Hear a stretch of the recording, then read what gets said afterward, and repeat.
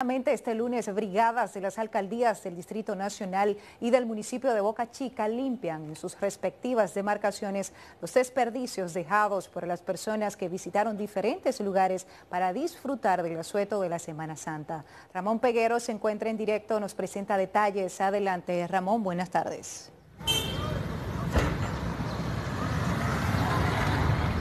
Gracias, eh, buenas tardes.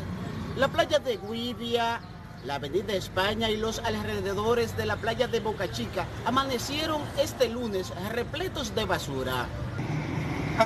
Las brigadas de aseo urbano del Cabildo de Santo Domingo Este no daban abasto ante la gran cantidad de desechos lanzados por las personas que visitaron el fin de semana esta zona. Igual panorama se observaba en la playa de Cuivia del Distrito Nacional. Todos los desechos, cartones, plásticos, de todo ellos siempre dejan de todo, mucho reguero, mucha, mucha basura.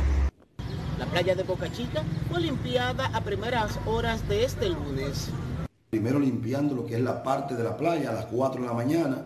Ya los camiones están vaciando el vertedero de tumba y ya en la, después del mediodía estarán entrando a los puntos de los barrios para limpiar todo, en todo el entorno. E inclusive ya la autopista Las Américas hay una gran parte que ha sido limpiada.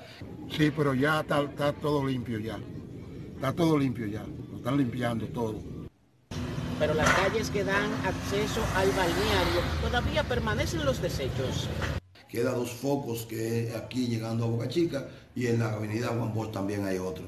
Y ya entraremos a Andrés para en la tarde para ir eliminando la, la producción de desechos sólidos que tuvo la población. Nos preocupa, a todos nos preocupa, porque eso debiera estar limpio ya.